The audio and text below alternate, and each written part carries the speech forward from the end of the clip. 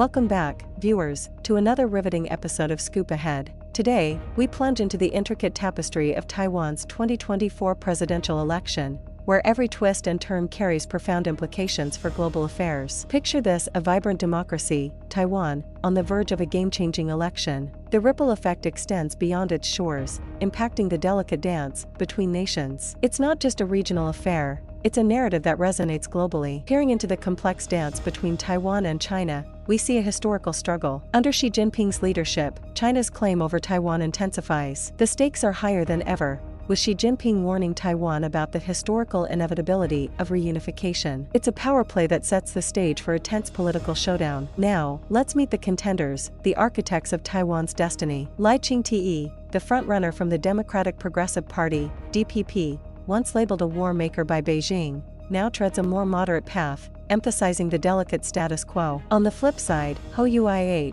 the KMT's popular mayor, advocates for peaceful relations with China, promising to strengthen Taiwan's defense. And then there's Ko Wen-je, the charismatic outsider proposing a middle path and critiquing both major parties. How does China respond to this political theater? Xi Jinping's China shifts tactics, it's less about persuasion, more about coercion, military pressure, disinformation campaigns, and economic leverage create a volatile cocktail. The question that looms large is, how far is China willing to go in response to the choices made by Taiwan's voters? And what about the United States, the geopolitical puppet master? Despite the formal cut in ties in 1979, the U.S. remains a silent but influential ally. Recent administrations, including Biden's, have bolstered support and arms sales, but the burning question remains will the US intervene if China decides to flex its muscles? Taiwan grapples with domestic challenges. Unaffordable housing, rising crime rates, and escalating consumer expenses have fueled dissatisfaction, making this election a crucial turning point. In the political arena, President Tsai Ing-wen's DPP has held sway for seven years. Yet, discontent simmers, setting the stage for a fiercely competitive 2024 race.